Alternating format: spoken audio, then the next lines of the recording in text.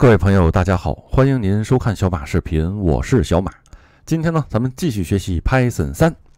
今天的主题呢，大家请看 while 的循环。呃，咱们以前讲过循环是 for 循环嘛，对不对？今天呢，咱们讲解另外一个循环啊，while 循环，它还是非常的常用，咱们一起来学习一下啊。知识点就一个 while 循环的语法该怎么做？马上看实战演习哦。while 循环首先说，您不要认为它很难，它应该是很简单。好，马上运行。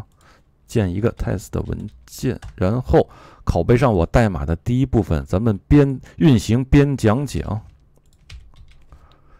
稍等，我整理一下，老规矩，哎，老规矩，左边是代码，右边是运行结果。咱们先看我这个代码干了这些什么事儿。首先，我声明了一个 i 变量，没问题吧？然后我 while 循环，循环什么？我 while 的后面呢是一个条件式，也就是说它是 true 或是 false，对吧？呃，当我这个 i 小于等于八的时候，就执行 while 里面的所有的处理，啊，这就叫 while 循环，对吧？呃，我初始值是一，没问题吧？当我小于等于八，一小于不小于等于八，小于等于八，对吧？那么直接进来，直接输出 i 的内容，然后大家请看，把 i 加一。以前咱们在做 C 加加时候都是 C 加加嘛，都是 i 加加嘛，对吧？但是呢，Python 不支持啊，咱们要写 i 加等于一。哎，这样的话呢，咱们 i 就变成二了吧，对不对？二变成二之后，咱们再回来继续用 while 循环进行判断。二小于不小于八，小于等于八吗？小于等于八。OK，那继续循环，直到 i 大于八的时候才会跳出。这是咱们这个循环的逻辑啊。所以说，咱们通过执行这段代码看到的结果是从一输出到八就停止啊。嗯，这种 while 循环有一个非常危险的地方，就是说，如果咱们在这个地方。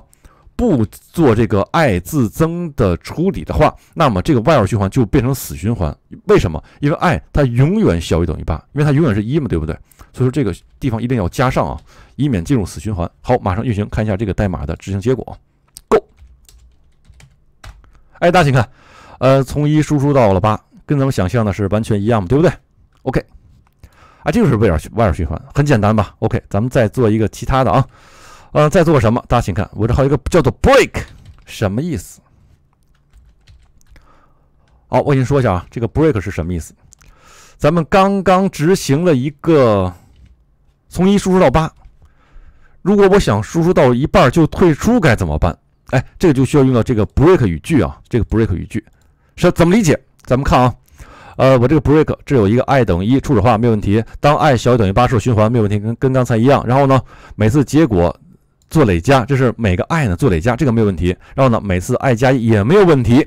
看这个地方，当 i 大于五，如果 i 大于五，就怎么着？就 break。break 是干什么的？退出循环。换句话说，咱们就不再执行这个循环了，直接就 break 跳出来。我呢，这个代码是跳出来之后呢，咱们输出一下 result 的结果。好，咱们看一下这个代码的运行的结果啊。大家请看，十五什么意思？i 等于一吧，一的时候呢是可以循环，对吧？然后呢，result 等于零，那我让 result 加等于 i，相当于现在这个时候呢，result 等于一，没问题吧？然后呢，i 加一再循环，i 加一变成二，二呢它大于五吗？不大于，不大于怎么办？接着走循环节，然后呢，result 呢继续累加。换句话说，i 等 i 大于五，i 是六的时候呢才退出。那么咱们这个代码也就是说。从一加到五，那么从一加到五的结果是多少呢？十五嘛，对不对？为了让您明显起见啊，这个地方我再做一个 result 输出算了。这样咱们循环几次，每次的 result 都是多少，咱们就能够一目了然的看到啊。好，咱们再运行看一下结果。大家请看，result 一共循环了五次，每次循环呢，result 第一次等于一，第二次等于三。然后呢，等于六，等于十，等于五，相当于一开始是一，后来呢加了一个二，变成三，后来再加一个三，变成六，后来再加一个四，变成十，后来再加一个五，变成十五。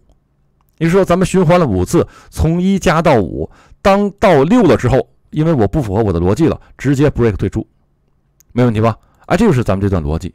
呃，我在做 while 循环的时候，如果满足某种条件，咱们就直接跳出循环，不再循环了。这个时候呢，用到 break，一定要记住，这个是非常非常常用，百分之九十九点九九九要用到的命令啊。OK，接下来，接下来是这样，它和 break 相对的是 continue，continue 是什么意思？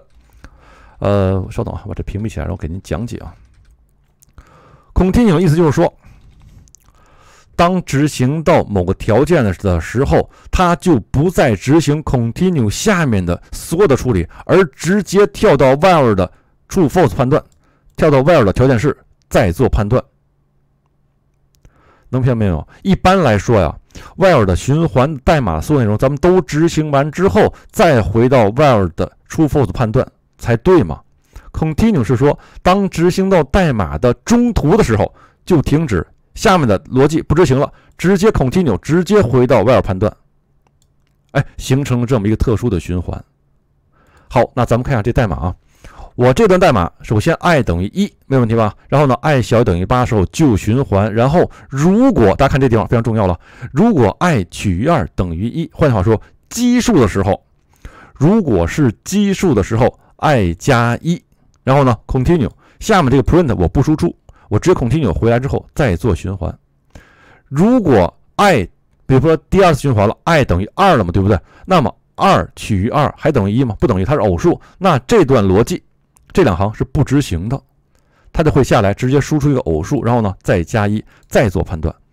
也就是说，我这段循环的结果是输出所有的偶数，没问题吧？为什么呢？因为如果是奇数的时候，仅仅是 i 字加一，然后就循环了，不再做下面的 print 的处理，没问题吧？咱们输出所有的偶数，咱们看看，当然是小于等于八了嘛，对不对？好，咱们看一下这个结果的运行的样子啊，试一下，Go。大家注意看，输出内容是二四六八，没问题吧？OK，那有朋友说了，我如果想输出奇数怎么办？很简单，这地方咱们改一下嘛，咱们取余是让它等于零就算了嘛。等于零的时候，也就是说偶数的时候自加一，然后循环，并不执行 print。好，咱们再试这个啊，就改一个地方，一三五七，没问题吧？OK，这就是 while 循环一个特殊的处理啊，break 和 continue。这是非常非常常用，break 有多常用，continue 就有多常用，它们是一套啊，一定要记住。OK，以上呢就是今天我给您分享的 Python 关于 while 循环的使用方法啊，非常非常的常用，嗯，希望您呢一定要掌握。然后呢，今天我的代码呢会放到开源中国的服务器，今天视频呢会传到优酷、YouTube，包括 B 站，供您下载观看。OK，那咱们在下个视频再见吧，拜拜。